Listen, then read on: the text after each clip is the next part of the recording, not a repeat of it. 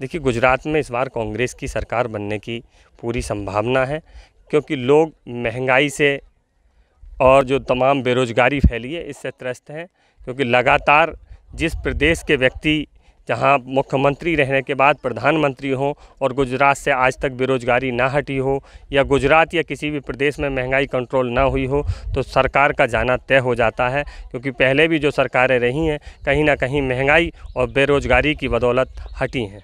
गुजरात में कांग्रेस पार्टी की सरकार बनेगी।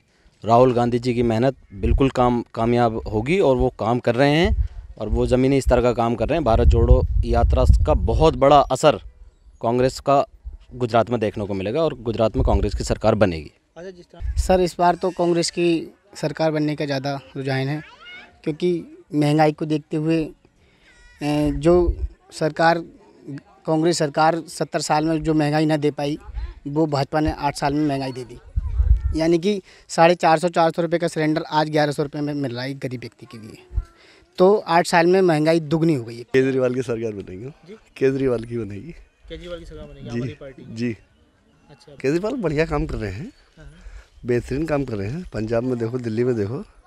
लाइट फ्री पानी फ्री सब काम फ्री है। देखिए सर्वे के हिसाब से तो इस बार फिर भी बीजेपी अपनी बाजी मारेगी लेकिन टक्कर कांग्रेस की भी है और आम आदमी पार्टी की भी है लेकिन सरकार तो बीजेपी की आ गई इस बार आंकड़ा तो ये लग रहा है कि आम आदमी पार्टी की आएगी।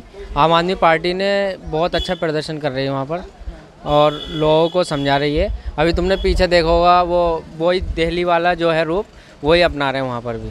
अपनी दिल्ली मॉडल लेके जा रहे हैं वहाँ पर। और दिल्ली मॉडल जो है वो हम जो पढ़े लिखे लोग हैं वो उसको फॉलो करेंगे। बदलाव देखने को मिलेगा सर। केजरीवाल की सरकार आएगी इन और उन्होंने दिल्ली में मतलब हाई मतलब स्कूलों में, अस्पतालों में मतलब बहुत अच्छा काम किया है। वो जो एजुकेशन को ही बना रहे हैं, मोड़ बना रहे हैं। एजुकेशन दिल्ली के अंदर बहुत अच्छा है। हालात तो इस तरह के दिखाई दे रहे हैं कि त्रिकोणीय मुकाबला होगा, क्योंकि आम आदमी पार्टी बहुत बेहतर तरीके से वहाँ पर परफॉर्मेंस दे रही है संगठन पर बहुत ध्यान है। लेकिन एक मज़बूत हमत अमली के तहत बात की जाए तो भारतीय जनता पार्टी बहुत मज़बूत है। उसके किले को ढहाना बहुत मुश्किल होगा।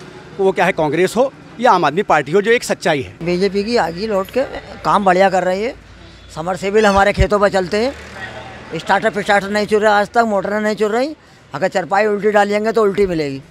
सरकार तो इस टाइम है समझो बीजेपी की बनेगी मगर यह है टक्कर पे तो आम वाली भी है जो आम मगर उन्हें अभी जानता नहीं है कोई सही तरीके से इसलिए बीजेपी की सरकार बन सकती है।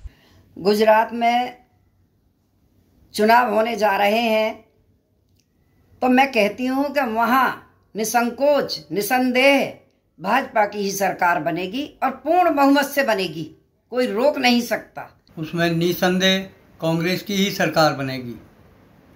कांग्रेस ने सत्तर साल में जो कर दिखाया, वो किसी सरकार ने नहीं कर दिखाया। कांग्रेस लेके सुई से हवाई जहाज़ तक देश को तरक्की की तरफ़ ले गई।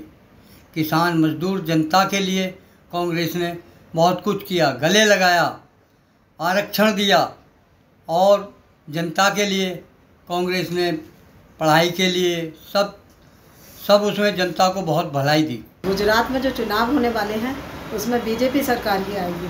उसके कई कारण हैं क्योंकि हमारे जो भूपेंद्र सिंह जी हैं उन्होंने विकास के बहुत से काम वहाँ पर किए हैं। जैसे सब सफ़ाई अभियान स्वच्छता हर जगह नज़र नज़र आएगी। जहाँ रहेगी साफ़ सफ़ाई वही होगी अच्छे मन से कमाई। सभी जानते हैं सफ़ाई का, का काम हो शौचालय बनवाने का हो और भी कई ऐसे काम हैं जैसे ऋण दिलवाना हो महिलाओं को आगे बढ़ाना हो कन्या जनधन योजना हो ये सारे काम हम गुजरात में भी एक विकास मॉडल के रूप में किए जा रहे हैं। वहाँ पर वहाँ पर यह है कि वर्तमान में वहाँ भाजपा की सरकार है, लेकिन वहाँ सभी पार्टियाँ अपना अपना ज़ोर लगाने को तैयार हो चुकी हैं।